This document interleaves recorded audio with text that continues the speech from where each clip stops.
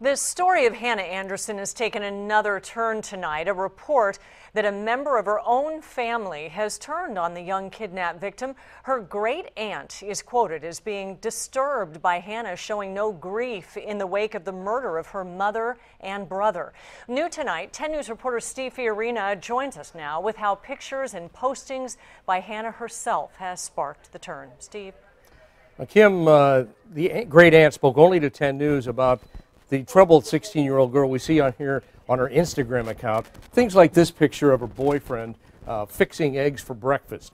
Uh, this is a girl who was abducted by a 40 year old family friend who told her he had a crush on her and then murdered half the family. And you see an Instagram account with smiling faces throughout.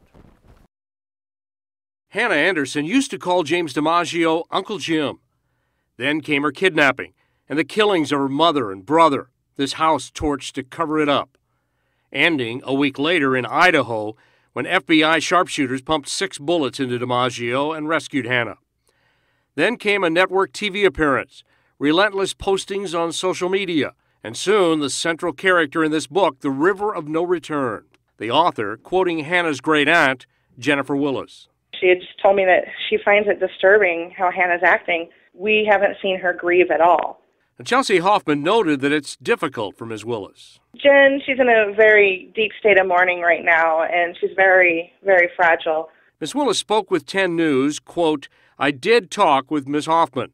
My intention was not to hurt Hannah or cause her any distress, but to get more answers to so many, many questions which have not been answered.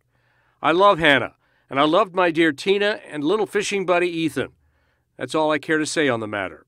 Last week, Hannah tweeted, My family still can't get along. WTF. I, I'm very curious as to what she meant because this was before Jen had spoken to me. There are other contradictions. These pictures of Hannah with a knee brace on different legs on the same day. One explanation she gave was that she hurt one in Idaho, the other was an old sports injury. I believe that she was faking her injury or playing it up.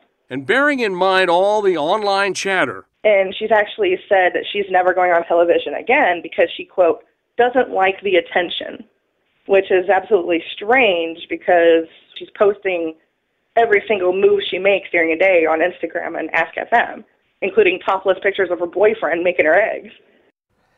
Kidnapping victim, witness to the death of the man who took her, a survivor when her mom and little brother are dead. These are overwhelming circumstances for everyone showing up like this on Instagram. She's 16. Steve 10 News.